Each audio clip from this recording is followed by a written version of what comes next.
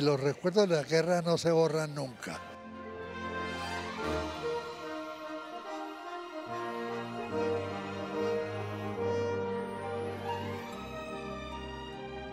Yo era eh, soldado enfermero y estábamos en la defensa de un cerro que se denominaba Olboldi. Y entramos a ese frente el 12 de marzo de 1953 y el 26 de marzo se produjo el ataque masivo de los chinos y de Corea del Norte.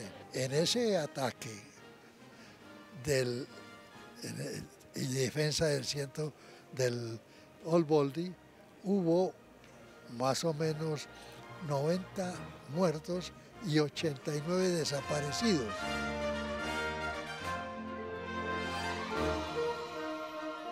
Apoyar a Corea del Sur en su guerra contra Corea del Norte. Colombia fue el único país de América Latina que acompañó esta guerra.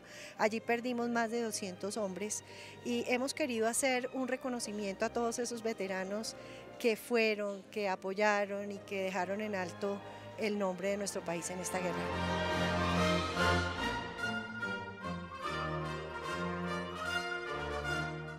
El enemigo nos atacó de una forma cruel a partir de las 6 de la tarde. En ese frente de combate me hirieron a mí esa noche, salí al otro día, con, afortunadamente pude, como en mi condición de, enfermero, pude eh, sacar algunos heridos y entre ellos un teniente mexicano que fue precisamente el que dio una declaración muy favorable y que me dio, eh, eh, gracias a Dios, el ascenso y una condecoración especial por el acto que participé.